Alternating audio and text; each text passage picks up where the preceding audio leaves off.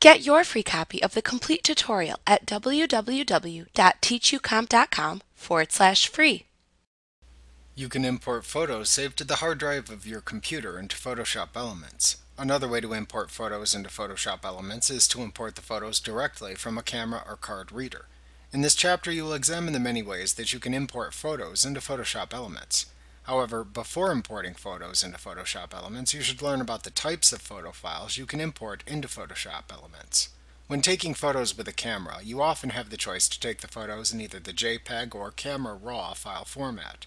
In general, many lower-cost cameras only let you take JPEG photos.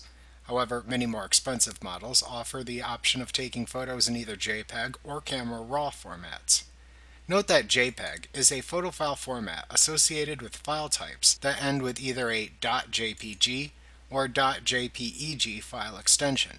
However, there are many different types of Camera RAW file formats available.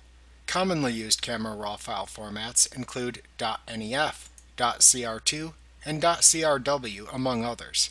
You should choose the default file type you want to use to take photos before you take pictures with your camera.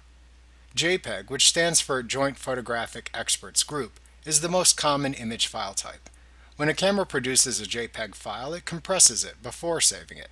This produces a smaller file which loses a bit of data as a result, usually an unrecognizable amount. However, Camera Raw images give you uncompressed and larger files which have no loss of data or clarity.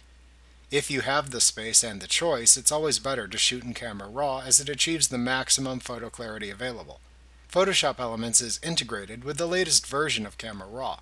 This lets you work in a non-destructive manner with Camera Raw files to set image attributes like white levels, sharpness, and contrast within Photoshop Elements.